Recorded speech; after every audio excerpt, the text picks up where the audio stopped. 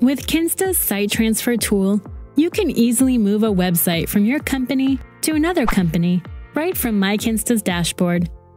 To start the transfer process, find the company ID of the destination company. The company ID can be found in the MyKinsta dashboard under Company, Billing Details, and Kinsta Company ID. Keep in mind only company owners or administrators can transfer sites. If you don't have MyKinsta access to the destination company, we recommend getting in touch with the company directly to get their ID.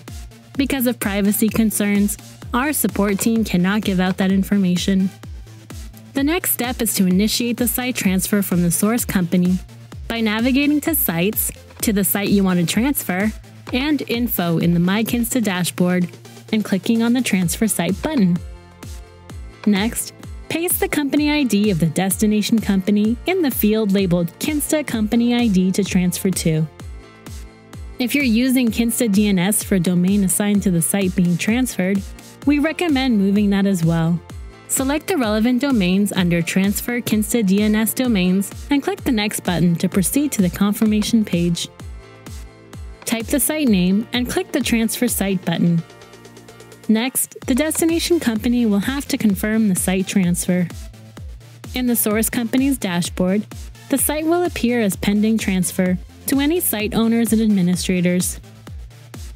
Until the site transfer is accepted by the destination company, you can revoke the transfer in Sites and Info. It's important to note that if a site transfer request is not accepted within 72 hours, the request will automatically be cancelled. Clicking on the Accept Transfer button in the notification email will bring you to the MyKinsta dashboard. To finalize the transfer, click on the Accept Transfer button in MyKinsta. If you don't want to accept the request, click on Reject Transfer instead.